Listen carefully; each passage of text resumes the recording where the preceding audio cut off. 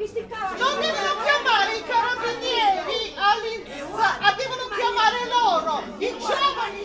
Caos ai servizi sociali per le richieste della SIA, card per il sostegno all'inclusione attiva. Si tratta di una misura di contrasto alla povertà che prevede l'erogazione di un sussidio economico attraverso progetti lavorativi alle famiglie in condizioni economiche disagiate nelle quali siano presenti persone minorenni, figli disabili o una donna in stato di gravidanza. Come stabilito dal governo centrale, il progetto viene predisposto dai servizi sociali del comune in rete con i servizi per l'impiego, i servizi sanitari e le scuole. In molti però si sono recati agli uffici dei servizi sociali del comune di Giuliano in via Nillo Palumbo lamentando malfunzionamenti nelle procedure. È spinta la domanda.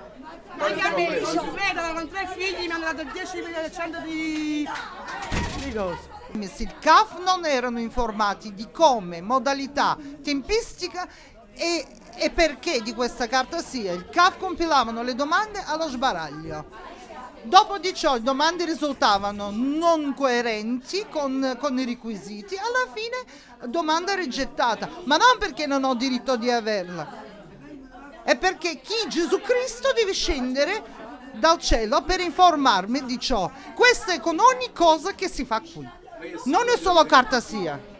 Io non posso, avendo i figli, andare avanti e indietro per tutta questa madonna di, di iter tra l'Inps comune, servizi sociali, il CAF. La, eh, il punteggio non l'avete avuto, signore. Perché io non ho punteggio? Ho disabile 100% a casa. Ho due minori. Ci sono usciti i punteggi, ma finimmo quando abbiamo fatto il cat, non ci stiamo nei punteggi, ma sono i punteggi. Però Immi si dice no, signore, vostro figlio non aveva qualcosa. Però lo fai.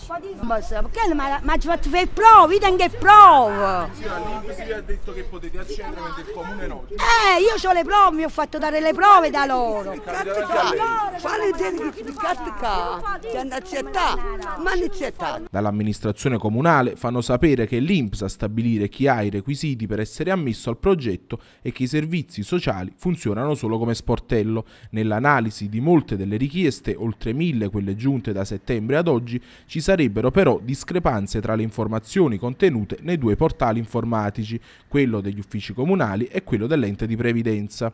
L'intoppo potrebbe dipendere quindi da un problema di software e la situazione potrebbe diventare più chiara tra un paio di giorni, dopo aver incrociato i dati di INPS e servizi sociali.